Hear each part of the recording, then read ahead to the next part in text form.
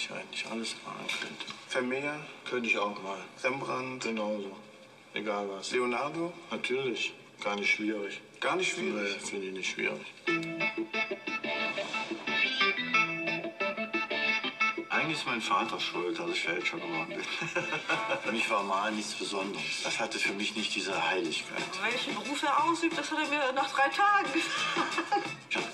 Gemälde gekauft, habe es dann auch restauriert. Und dann habe ich irgendwann gemerkt, dass die Händler sagten, ja, wenn da jetzt Figuren drauf wären, dann könnte man da viel, viel mehr Geld für bekommen. Wenn das so ist, habe ich mir überlegt, wieso malst du es da nicht komplett neu? Ne?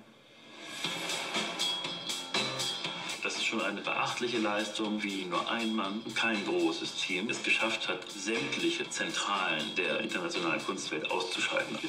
Ja, wir sind Opfer von einem super raffinierten Betrüger geworden. So, jetzt haben wir wieder den Original Barcelona Dreck von 1915. Wir wissen ja bis heute nicht, wie viele Fälschungen er wirklich erschaffen hat. Entstanden sind ungefähr 300. Wir wussten natürlich, dass unser Vater Künstler ist, hatten halt immer den Eindruck, dass er nicht viel arbeitet. Ich hätte 2000 Bilder malen können und der Markt hätte es aufgenommen.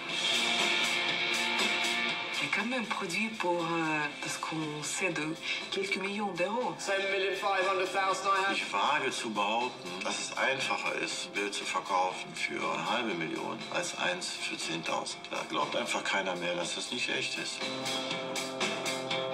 Ich hätte mir so gern Palazzo Venedig gekauft. Ja, dann habe ich den Palazzo in die Zelle getauscht.